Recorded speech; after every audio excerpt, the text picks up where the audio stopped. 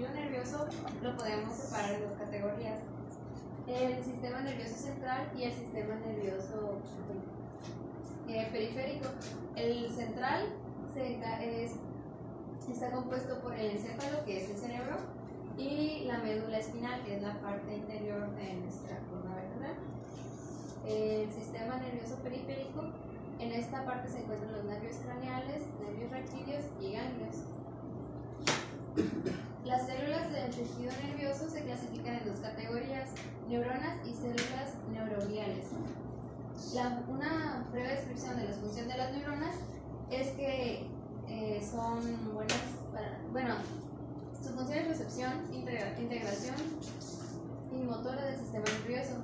Y las células neurogliales se encargan de apoyar y proteger a las neuronas. Son células mucho más pequeñas que las mismas neuronas. Aquí, como se ve en la imagen, todo esto es el cuerpo de la neurona. Este, estas son extensiones del citoplasma, que ahorita conocemos como este, el axón, y se compone por dendritas que no se alcanzan a ver muy bien. Y las células neurogliales son aquellos puntitos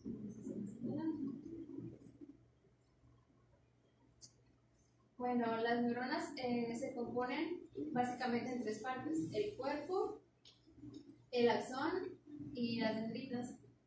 El cuerpo, pues como aquí se ve en la imagen, es todo esto, es el soma, aquí está el núcleo, este es el axón, que es una prolongación mucho más larga del, del citoplasma, que es la que va a servir para la comunicación celular. Eh, y las dendritas sirven pues, para formar redes a través de todo este sistema. Y pues en el sistema nervioso central podemos encontrar unas formas poligonales, pero más o menos así las neuronas. La clasificación varía de acuerdo a la forma y disposición de estas prolongaciones. Este, hay varias formas de clasificar a las neuronas. Eh, una de ellas es por su polaridad. Eh, están lo que están las multipolares, las unipolares o pseudo unipolares y las bipolares. Esta aquí dice piramidal, pero es una de las formas que están dentro de las multipolares.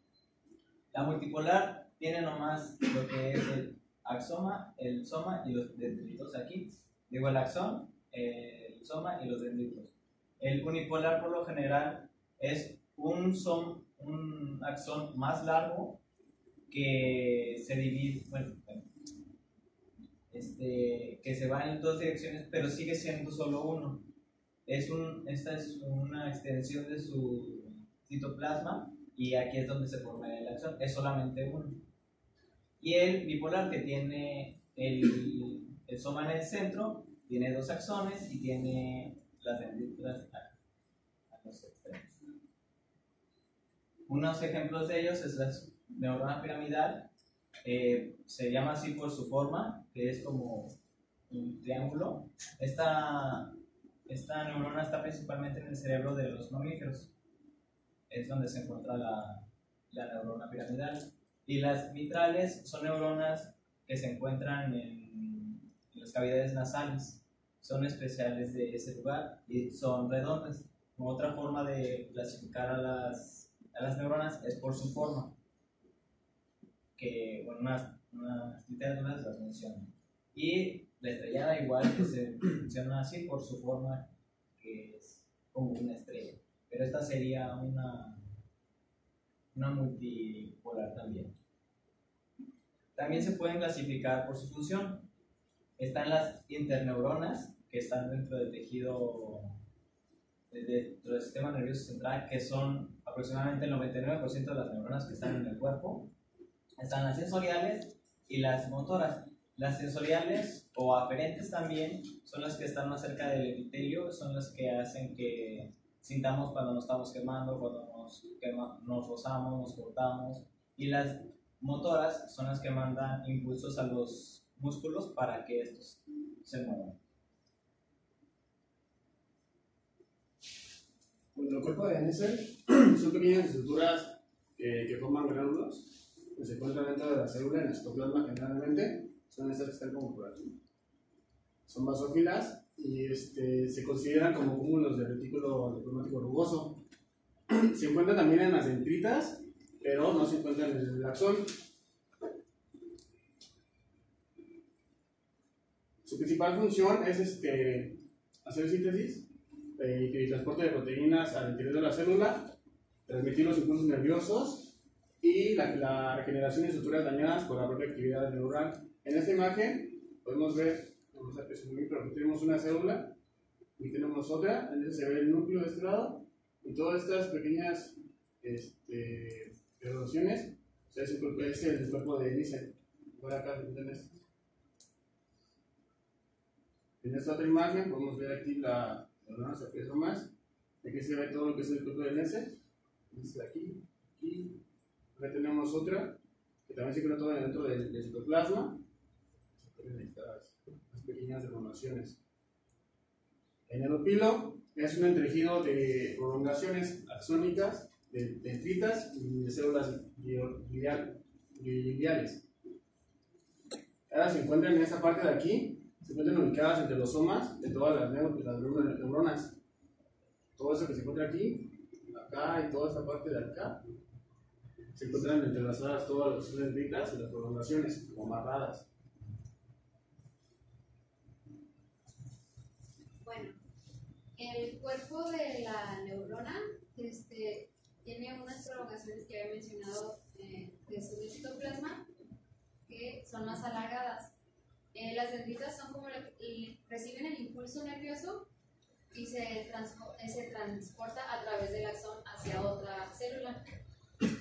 Entonces, este axón está cubierto, eh, perdón, este, sí, este axón está cubierto por vainas de mielina. La mielina es una sustancia que ayuda a, a que los impulsos nerviosos se conduzcan más rápido. Entonces, un axón que tiene gran cantidad de mielina se llama axón mielinizado y uno que carece de mielina pues es mielinizado.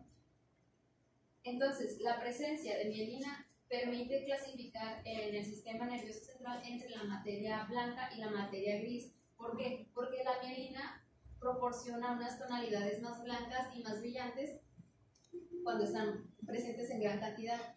Pero si, esta, si este cuerpo carece de mielina, pues no va a ser tan blanco, entonces por eso se ve una diferencia de color. Bueno, las neuronas son células especializadas que, se especializan en recibir eh, estímulos y transmitir el impulso, el impulso nervioso. Y las sinapsis se pueden, bueno, y estas se comunican a través de sinapsis. Las sinapsis se pueden clasificar en eléctricas y químicas. Las eléctricas son, este, son sinapsis, es una sinapsis que se hacen conexiones con nexos y esto genera que la transmisión del estímulo nervioso sea de manera directa. Existen diferentes tipos de sinapsis eh, eléctricas, que son sinapsis excitadora, sinapsis inhibidora, sinapsis peptidérmica, la, la peptidérmica, la neuromuscular y la sinapsis de una neurona, la excitadora.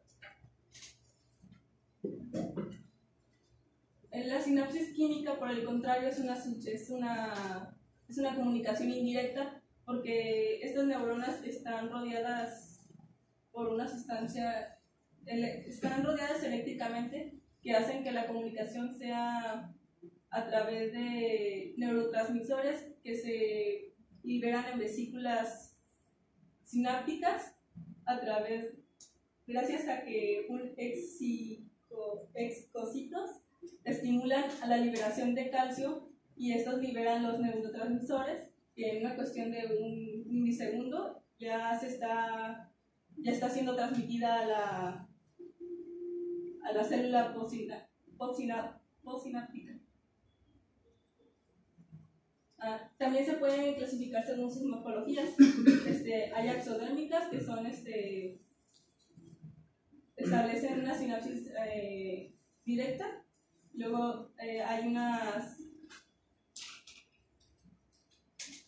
axosomáticas que ahí se encajan y hay unas y las inhibidoras que inhiben el, el estímulo de la neurona anterior, que está antes. La célula de Purkinje es una célula muy grande, la cual tiene una forma como de aguacate o de pera. Se le ve el núcleo y se le ve el nucleolo. Es cabe destacar que esta técnica de tinción es arquetípica, ya que en las tinciones de hematocilina aducina no se alcanza a ver las, las este, ramificaciones. Tiene ramificaciones bastante, tiene muchas ramificaciones y es unidad pues, funcional del cerebelo contribuyen a movimientos que sean uniformes y coordinados.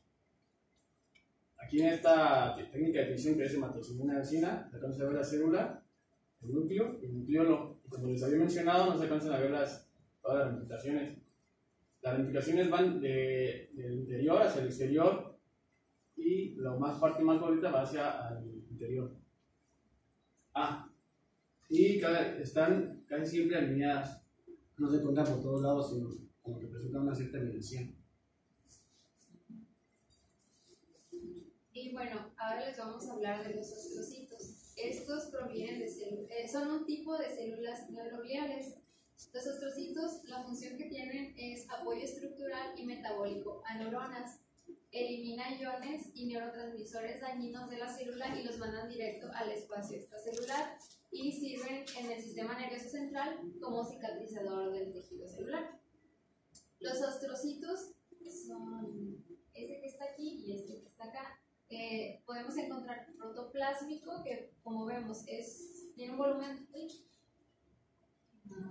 tiene un volumen de citoplasma mucho más grande que el fibroso y tiene estas ramificaciones a diferencia de este. Ambas están pegadas al, a los vasos sanguíneos por, pie, por un pie como tipo pedicelario, así se le puede también llamar. Y bueno, eh, los astrocitos protoplásmicos eh, podemos encontrarlos en la sustancia gris y los fibrosos en la sustancia blanca generalmente. Aquí podemos observar en, en este corte cómo está el vaso sanguíneo. Aquí está una ramificación bueno, muy larga, parece un axón, nuestra neurona. Y estas pequeñas ramificaciones que salen, igual de este lado, imaginemos un pedicelario o un, perivas, pie perivascular y cómo se conecta. Y bueno, los oligodendrocitos, este, estas células son las que nos ayudan a producir la mielina que se van a ocupar para recubrir los axones y que los em, impulsos nerviosos puedan transmitirse. Porque de acuerdo a, al diámetro, ah, me faltó decir algo importante pero interesante. De acuerdo al diámetro del axón, es más rápido el impulso nervioso, o sea, entre más gordito es como, zoom, pasa súper rápido. Que de uno delgadito que tarda más. Este sirve como aislamiento eléctrico y lo que había mencionado, producción de mielina. Son más chicos que los astrocitos. Se pueden encontrar en la sustancia gris y en la sustancia blanca. Y eh, podemos encontrar dos tipos. En los eh, en los oligocitos satelitales y los oligodendrocitos de interfasciculares.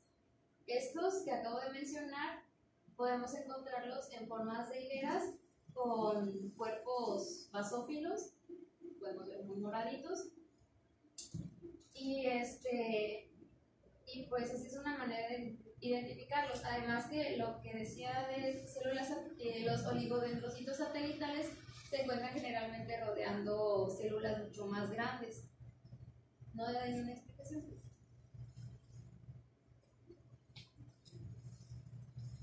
el sistema nervioso tiene materia gris y blanca, que la podemos encontrar en la, en la médula y en el cerebro y cerebelo.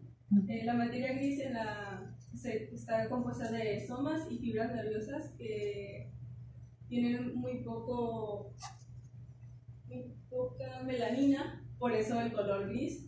Este, también eh, aquí las conexiones son muy lentas, mielinas, perdón. Y las conexiones aquí son muy lentas y eso hace que, bueno, esta parte del cerebro hace que la procesa, el hace el procesamiento de la información y el razonamiento, incluso el tamaño, por eso el tamaño de la mancha de, de materia gris eh, eh, tiene que ver con la inteligencia del ser vivo que se está estudiando. Ah, en, en, la médula, eh, la materia gris tiene forma de mariposa o de H y en el cerebro y cerebelo es en la parte exterior. Aquí vemos, pues este es el cerebro, donde se ve la materia gris afuera, donde es más densa, y la blanca, muy, este, es blanca porque tiene una cantidad mayor de mielina. Aquí este, las, las conexiones son, está compuesta por delegaciones neuronales principalmente de mielínicas y son vías más largas en, el cerebro y en el cerebelo pues está, es una forma oval y en la el medio espinal es periférico y rodea la materia gris. Eh, esta está relacionada con el aprendizaje y con el funcionamiento del cerebro, en el caso del cerebro. Ah, bueno, aquí podemos ver cómo se ve un poco más esparcida y esta, pues, las células tienen más mielina que en, el, en la parte de la materia gris.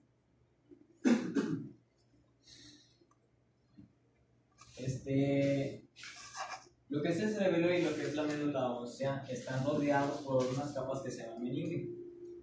Es, estas se dividen en tres, en la dura madre, aracnoide y la primaria. Estas se notan de afuera hacia adentro. Este, bueno, la médula espinal, como ya dije, está rodeada por lo que se, son estas tres capas. Y dentro de la médula espinal se encuentra lo que es la materia blanca y la materia gris, al igual que en el cerebro. Aquí en este es un corte de una oveja, una médula espinal de una oveja. Aquí se puede apreciar, este es un canal que está en las vértebras, este, para, donde pasa la información. Esta parte de aquí, no sé si se alcance a ver, está como más, como en grumos. Esto sería lo que es la materia gris. Y esta de acá afuera sería lo que es la materia la materia blanca. Aquí hay unas partes muy pequeñas que son las, nuestras este, neuronas. Estas son piramidales, me parece ser, ya que son en forma de, de, triángulo. Aquí hay otro corte también este, de una de una vértebra, solo que esta es de una gallina, por eso se ve diferente. Este, igual aquí está nuestro canal que es este de aquí, en medio de las, justo en medio de las vértebras ahí. Esta sería lo que es la materia gris y esta la materia gris.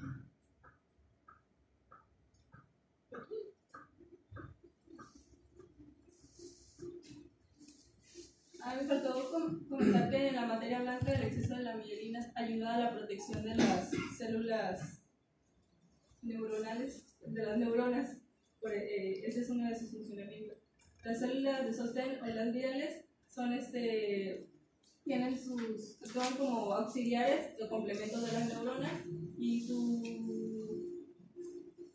y son el son las encargadas de la función nerviosa. Estas constituyen en la, en la matriz intraneural y hay una gran variedad de células estrelladas y fusiformes que se diferencian de las neuronas principalmente porque no tienen un contacto sináptico. O sea, estas células se ven aisladas a diferencia de las neuronas que pues se... pues no tengo una imagen, pero se ve eh, la conexión en una neurona y en estas se, tiene que ver un poco más aisladas. La célula de la, de la son este, macrófagos derivados de monocitos de la médula ósea. Este, son, tienen el núcleo ovalado, presentan pocas extensiones eh, son cortas y son muy ramificadas.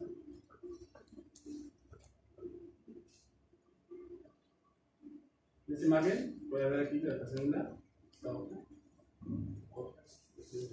Parecían como si fueran fibroblastos, pero no se alcanzan a ver porque son más ácidos de colágeno, entonces se descartaría Este, en el cuerpo humano, eh, es células tiene un 5% en adultos, pero si hay una, un, trauma o un lugar donde esté enfermo o lastimado, aumentan el porcentaje de esas células que tienen la capacidad de fagocitar.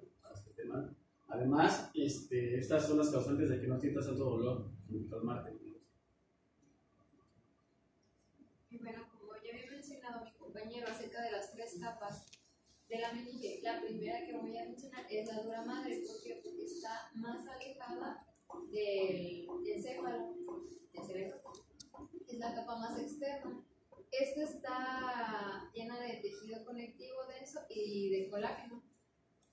Este, hay dos tipos, la dura madre perióstica y la dura madre meningia. Este, la perióstica tiene unas pequeñas células llamadas osteoprogenitoras y es- están compuestas de fibroblastos y fibras de colágeno. También en la dura madre se puede la dura madre meningia tiene una capa inferior que es la limítrofe. Esta carece de colágeno. Es la más cercana a la parte profunda, por así decirlo, al encéfalo, y posee gran cantidad de fibro- fibroblastos que son alargados, aplanados y posee, o sea, son estos. Son estos, son los. Este es el núcleo y este. Todos estos.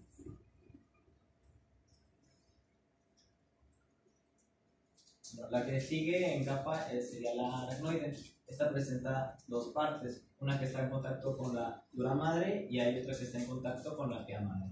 Este, es, es una en forma de membrana y está constituida por tubérculos, eh, que es lo que unen a estas tres capas.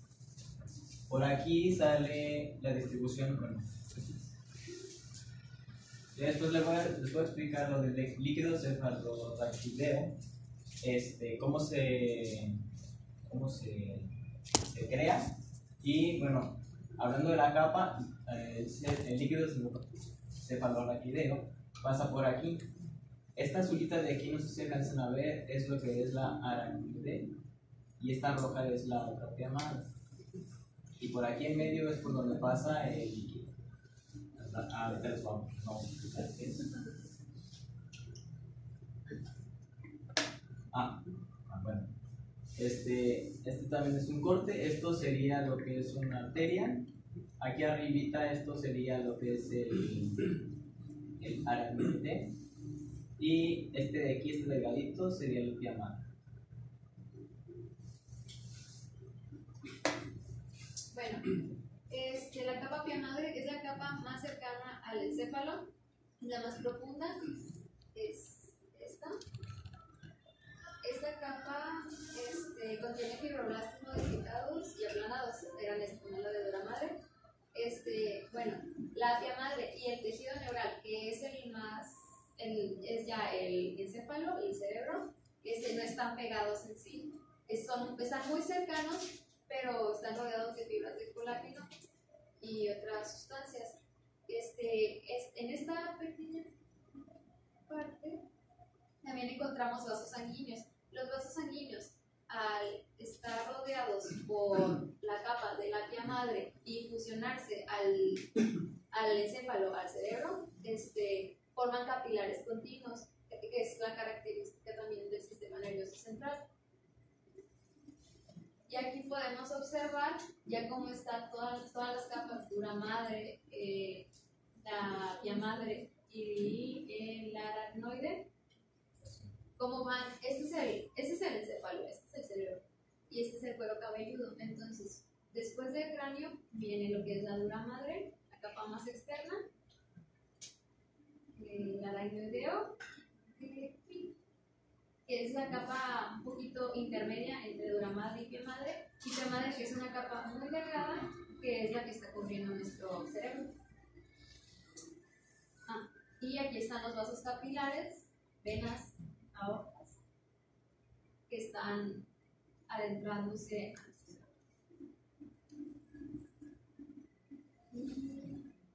lo mismo. Sí. Se bueno, en, esa, en esta en la imagen de la izquierda podemos observar varias de las células que, de lo que ya vimos. Está la capa de aracnoide arriba, la capa madre. Sería la materia, ahí sí se puede ver materia blanca blanca en este tipo de tensión. La materia gris, dentro de esta materia gris están las, las neuronas multipolares y dentro de la materia blanca están los oligomerios. Y dentro de la capa de la pia madre están lo, lo que son los plexos corrideos. Estos plexos son pliegues este, eh, abundantemente, son de capilares fenestrados y dilatados. La principal función de estos plexos corideos es la secreción de líquidos cefalorraquídeo, el que estábamos hablando hace ratito. Este líquido en sí tiene la función de amortiguar el golpe que sea. Si, si no hubiera este líquido, nos pegan en la cabeza y el cerebro pega con alguna de las otras capas y se puede dañar. Además de que este líquido hace que es crea un ambiente para que las células este, puedan desarrollar, puedan hacer sus funciones de forma correcta.